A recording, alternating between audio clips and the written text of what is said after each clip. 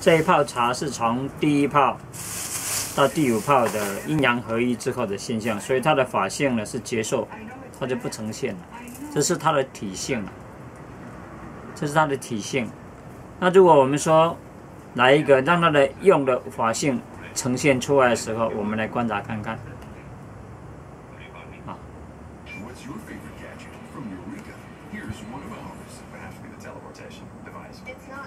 这个先逆转就是阳性，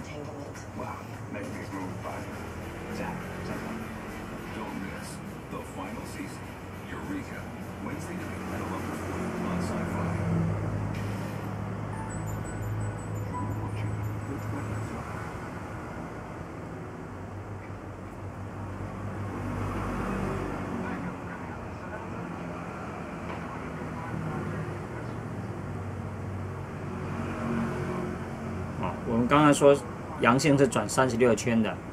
好，那现在再转为它就转为阴性了，啊，现在是中间直线跑的就是中性，中性的这个部分，在转换的过程之中，啊，那现在它要开始要转你就知道了。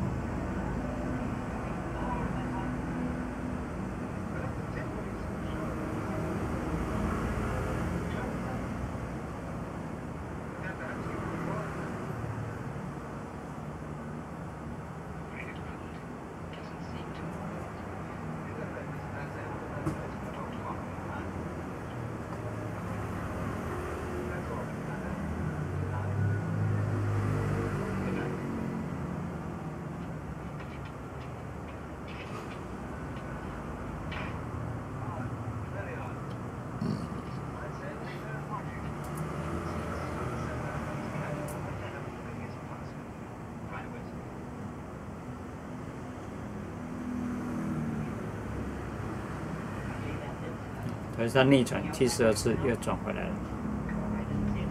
还是转这样子。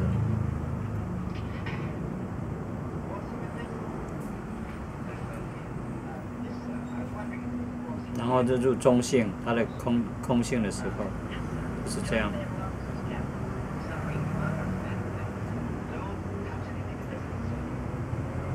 所以师傅他会一直停留在这个空性，还是他又巡回顺转逆转顺转逆转 到空性？那是一个用的角度，这个是一个体的角度，嗯哼，它中心是一个体的角度，所以这个它中心就是这样，它不动了。那我们说它有它的法性视线，它就视线出来；那这个不视线就不视线。